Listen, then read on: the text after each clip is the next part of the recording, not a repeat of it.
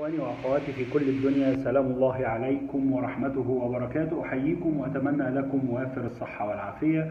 الفيديو ده فيه آه، رسالة قصيرة جدا مش هتاخد منكم وقت كبير. أي مريض بيجي يزورنا بيزورنا مرتين تمام؟ ويمكن يزورنا مرة واحدة. بيزورنا في العيادة الأول تمام؟ وبنكشف عليه وبنحط خطة العلاج بتاعتنا وبناخد العلاج بتاعنا في الأول. وبنقول له لو ما ارتحتش على العلاج هتيجي في المستشفى عشان نعمل لك الحقن والتردد الحراري اللي هي الزيارة رقم اتنين. ولو هو ارتاح على العلاج هتبقى هي زيارة واحدة مش محتاج الزيارة رقم اتنين. إيه اللي يمنع ان الزيارة رقم واحد اللي هي في العيادة تتم اونلاين تتم زي ما أنا بكلمكم دلوقتي تتم عبر الانترنت؟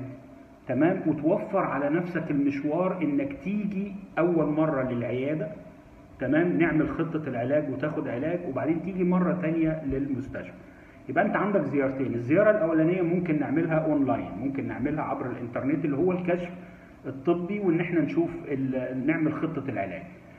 الزيارة الثانية اللي ما ينفعش نعملها اونلاين اللي هو لازم تيجي المستشفى عشان نعمل لك الحقن والتردد الحراري يبقى خلاص ما باليد حيله نروح المستشفى ونعمل الحقن والتردد الحراري. أتمنى إن يكون الموضوع مفهوم لأن في ناس كتير بتبعت إيه لما نقول له الكشف اونلاين يقول لك طب وأنا هعمل الحقن إزاي؟ هعمله اونلاين هعمله بالإنترنت؟ طبعا الفكرة مش كده. أنت حضرتك الزيارة الأولانية اونلاين الزيارة الثانية في المستشفى. ولو ارتحت على العلاج. يبقى مش هتيجي المستشفى في الزيارة الثانية سبحانك اللهم وبحمدك. نشهد أن لا إله إلا أنت نستغفرك ونتوب إليك. وسلام الله عليكم ورحمته وبركاته.